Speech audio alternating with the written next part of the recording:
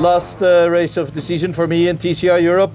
I mean, uh, I think we had a good season. We had some podiums. There's still one race to go. Big points uh, to gain, but uh, top five in the championship uh, should be possible, even with missing two races.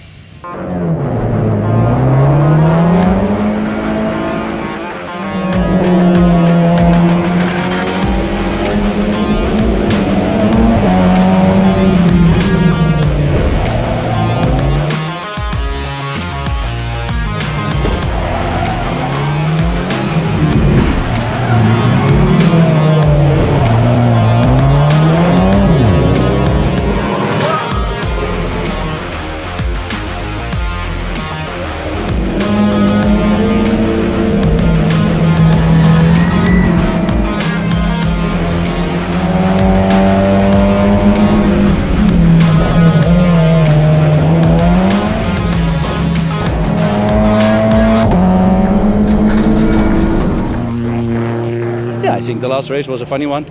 I mean, I got a big hit by Jelmini. I don't know where he came from. it was like a torpedo. Um, yeah, I lost some spaces there. I think four or five places. So I saw I was a lot faster than the guys in front of me, but I just had to wait until they were making mistakes, and then I was there. I had some good fights, so uh, I had fun, but the result could have been better.